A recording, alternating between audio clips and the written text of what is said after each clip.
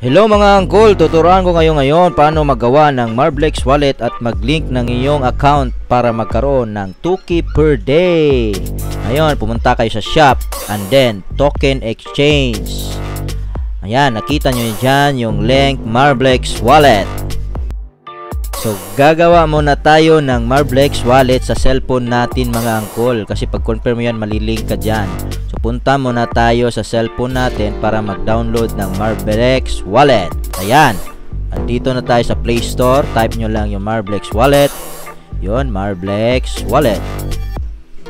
Pagkatapos dyan, install nyo lang yan. Uy, tagal mag-install. Yun, open nyo lang yung Marblex wallet. Accept. Yan, meron na tayong Marblex wallet. Maggagawa na tayo. Use Marblex wallet. Yun, select nyo lang yung birthday nyo. Dapat hindi bababa sa 18 years old. Yan.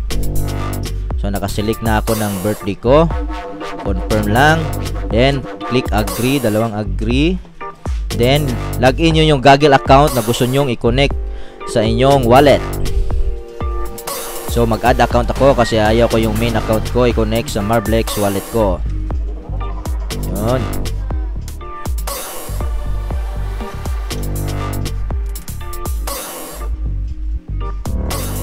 Yan, agree ko lang. Tagal. Oh, yan na. Nalagin ko na yung Marblex wallet ko, na-connect ko na yung Google account ko. So set tayo ng password sa Marblex wallet natin. Yan, natapos ko na yung set ng password ko kaya mag-set tayo ng nickname para sa Marblex wallet natin mga angkul. Yan, set tayo ng nickname. Yun yung nickname natin ha. Yun, nakagawa na tayo ng Marblex wallet natin mga angkul. So pwede na tayo mag-link account sa ating Nino Connie para magkaroon ng 2k per day. Yan, oh, kita nyo yan. I-link na natin yung account natin. Yan. So, i-close muna natin yung game natin sa Nino Kuni para matuluyang link yung account natin. So, i-close muna natin mga angkol yung client natin sa Nino Kuni at tingnan natin kung na-link na ba. Yun, di ba? Wala pang link. So, i-close muna natin to. Yan, na-close ko na. Then, go to shop. Tingnan natin daw. Check natin kung na-link na ba.